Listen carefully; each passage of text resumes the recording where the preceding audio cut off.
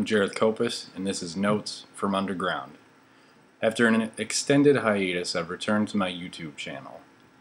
All my other options are slowly disappearing. My Twitter account has been disabled permanently. Now, I find myself having a little extra time to come back to these videos. The US media has officially become an operation focused on wartime anti-Russian propaganda. No other voices are being allowed, and those that dare to are quickly being shut down. One of the most egregious lies being spewed forth is that Nazism and fascism are not found in Ukraine. Let's set that record straight.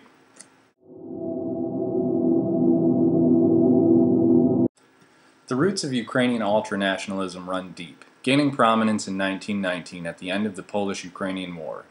This short war originated in ethnic differences between a number of groups in the area of Galicia. The House of the Habsburgs, who were sympathetic and lenient towards national minorities, ruled Galicia, a part of the Austria-Hungarian Empire. This leniency allowed for the growth of numerous nationalist movements.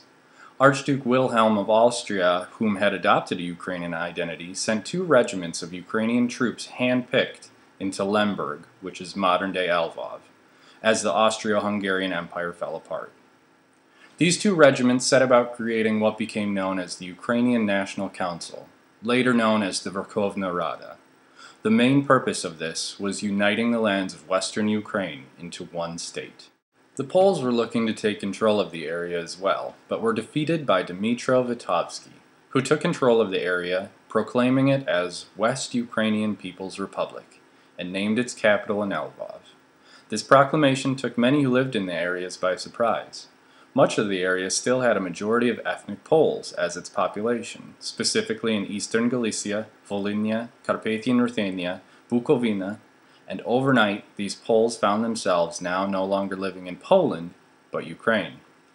Neither country had a true claim over the area since it had just recently been part of the Austro-Hungarian Empire, and it boiled down to a matter of military might.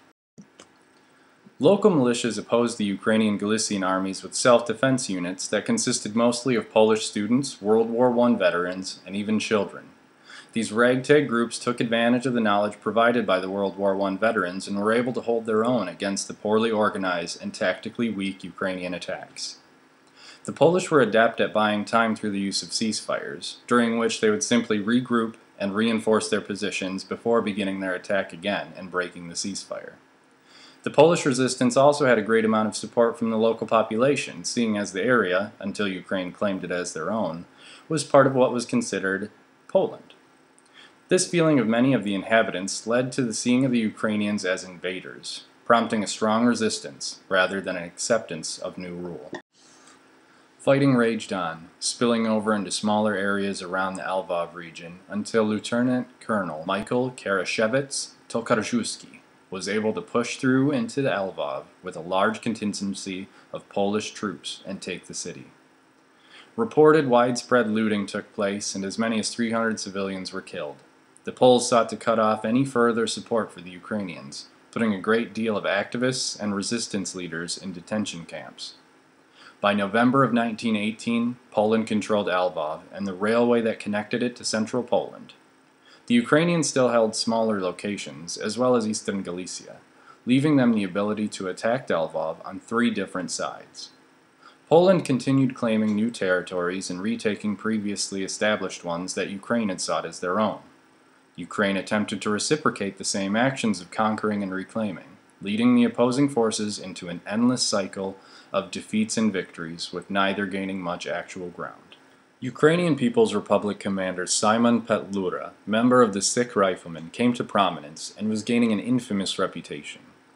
An ultra-nationalist, Petlura planned many and took part in numerous crimes which included murder, robbery, rape, and looting. While under his command from 1917 to 1921, the Ukrainians carried out pogroms targeting the Poles, Jews, and Russians.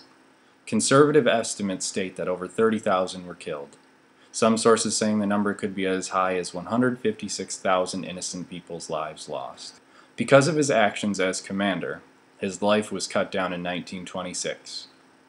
While in Paris, Petlura was approached by a, a man named Shalom Schwarzbard, who in Ukrainian asked him, Are you Mr. Petlura? Petlura raised his cane in acknowledgement. Schwarzbard then pulled a gun from his coat, yelled, Dirty dog, killer of my people, defend yourself, and then shot him five times. Schwarzbard turned himself in immediately with a note reading that he killed Petlura to avenge the death of the thousands of pogrom victims in Ukraine who were massacred by Petlura's forces without his taking any steps to prevent these massacres. These deaths included 15 of his family members.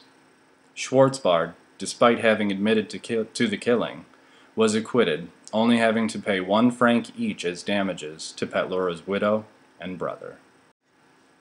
Somehow, in modern day Ukraine, Simon Petlura has become a symbol of Ukrainian independence.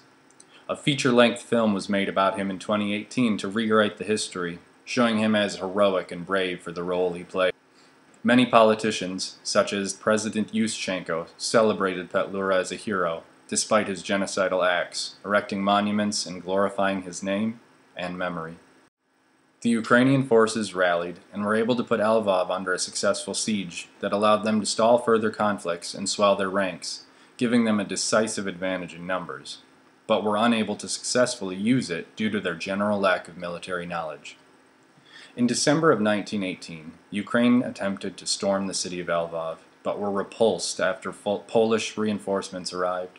The Ukrainians regrouped and brought in new peasant troops from western Ukraine. The Ukrainian forces again attacked Lvov, now with these untested troops, and again were beaten back, leading to many eastern Ukrainian troops to mutiny, blaming the western Ukrainian troops for the defeat. By February, Ukraine was able to pull back together and commence another assault on Lvov. By this time, all Polish supply lines into Lvov had been severed. The time was ripe to take the city. Luckily for the Polish, a French-led mission from the Entente arrived just in time at the Ukrainian headquarters, demanding that all hostilities cease, or the ties between the French Entente and the Ukrainian government would be severed. The Ukrainians promptly called off their attack, and ceasefire discussions began. A demarcation line was set in place, which gave Ukraine a sizable chunk of the East Galician territory, while giving Poland all of Lvov, including all of its oil fields but Ukraine would take possession of half the produce, produced oil from the fields. The Polish easily and happily agreed to the terms, but the Ukrainian delegation was insulted by the heavily Polish favored terms and left the discussion to continue their assault on Lvov. Because the Polish were under the assumption that a ceasefire had been reached, the Ukrainians were able to cause mass confusion in the Polish ranks, leading to their defenses being opened up. They blew up large Polish ammo stores in Lvov, but once again, the inexperienced Ukrainians couldn't take advantage of this, and again fell back to regroup. Poland was very busy during the ceasefire and deployed a relief force of 10,000 troops that marched to Lvov, clearing Ukrainian strongholds as they went. By March, they had secured Lvov and the surrounding areas. The Polish mounted a large-scale offensive in 1919, and with the aid of, of the troops received from Western allies, France in particular, they were able to defeat and push back even the most elite of Ukrainian forces, the Sich Riflemen, and declare the Polish territory along the boundary lines they had wished. The Ukrainian defeat did not sour the nationalism felt by Ukrainians, but only intensified it. This loss acted as a catalyst that pushed even the most fervent ultra-nationalist into a form of extremism that would infect Ukraine for years to come. One of the organizations to be born of this extremism was the Ukrainian Military Organization, or the UVO. The UVO was a group of Ukrainian veterans who covertly planned on continuing fighting the Polish through a number of different tactics. Strictly made up of former military men, a rigid military-style structure was installed by their leader, Yevhen Konovalets. Ukrainian nationalism, fascism, Nazism, whatever you want to call it, in no way began with Hitler. This was an ideology that already had taken firm root in the psyche of the Ukrainian people and would only grow. In the next video of this series, we will be talking about this growth, this abscess, by taking a detailed look at the UVO. Now more than ever, it's important to consume media responsibly. Don't take my word for anything. Look into it for yourself. Listen to every side.